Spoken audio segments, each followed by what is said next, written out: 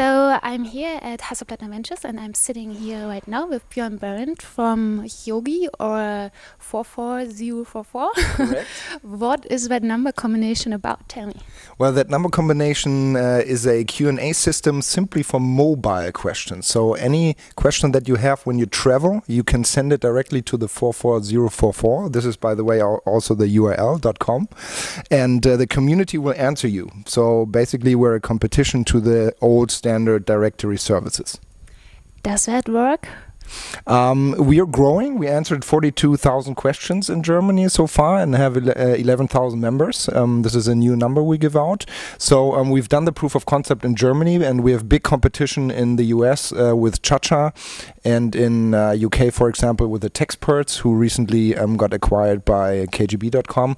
So there's a lot of movement in the crowd-based uh, search industry and uh, we have a good technology set. Basically, we're really um, fast-moving technology technology company. Mm-hmm. So how does it look like? How much time does it uh, take till I get my answer? At the moment, the average answering time in Germany is around 15 to 20 minutes, depending at what time of the day you ask. Between 9 and uh, 6 o'clock during the day, it's pretty fast, and at night it gets a little bit slower. Okay. So for what kind of yeah, questions is it the best to use? Like, is it for any question or uh, are there a special sort of questions? You can ask anything that's um, uh, in within the law, um, but we analyzed our 42,000 questions and we found out that 64% is local, with a local focus about cities and where you live or where you travel. So you, um, the people ask a lot about insider tips um, in the various cities that they're in. And how do you make money with that?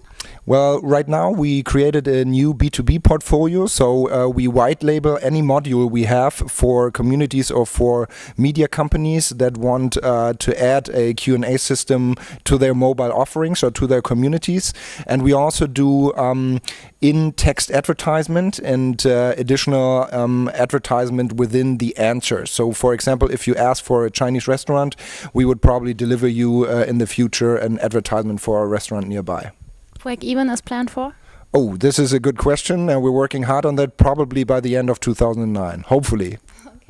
Um, but yeah, with the stronger and stronger getting uh, mobile internet, uh, isn't that already a big competitor itself?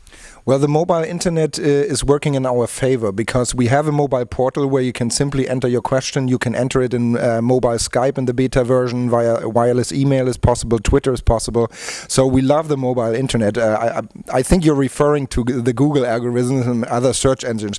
They are a competition, but it is hard to find high quality recommendations or um, personal knowledge within the search engine algorithms, and and the the number of pages uh, pages on the internet grows so so fast, then it's difficult to scroll uh, through all this content. And this is exactly the niche that we operate in. So we uh, give you high quality answers in a short amount of time from human being to human being. And there's a niche. It's not everything that Google does. Google will still exist, of course, um, but we hope we can get a little bit a chunk of the pie. Who does answer the question and why do the people do it? It's the same uh, as uh, with uh, Wikipedia. They share their knowledge. They love to help others. They get some rewards and points, and it's like a game, basically a knowledge game, like Jeopardy. So uh, the people love to help, and um, they spend a lot of time on our website, and uh, the the questions get answers really quickly. Okay. And yeah, what has been the biggest challenge for you through the, through the founding process? Okay, uh, you mean at the beginning when we founded the company? well, altogether, the, the biggest challenge you experienced, the thing where you said, "Ooh, wow." Okay, the biggest challenge really is for us in Germany to market a shortcode, an SMS shortcode. For the time being, SMS is still the dominating medium on the mobile phone. However, um, uh, we tried a lot of marketing things to market the 44044, but uh, people seem to be very reluctant toward premium SMS services. So never, uh, whatever we tried, we always um, had a, a negative impression in the customer uh, towards SMS and these premium numbers. And this was a hurdle that was very, very hard to overcome. And um, um, right now we are looking for partners, for media uh, partners or bigger companies that have already a good uh, recommend um, a good uh, reputation. And uh, with the help of a big partner, we will um, create the trust in the people that, uh, to use our number because it's free. It doesn't cost anything at the moment. Okay, because I read something like it costs something like 40 or 50 cent.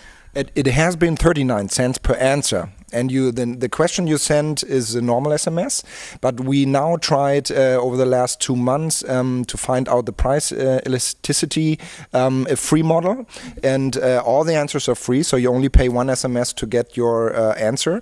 And um, we're analyzing how people um, like this, if they you know are more um, price sensitive and. Uh, and that you finance through re advertising to. Right, right. So what we would do is, if you ask for the Chinese restaurant, we give the uh, the answer, we send you another free SMS, and we uh, get a, com- uh, a dialogue with the client, and we put in advertisement for our clients.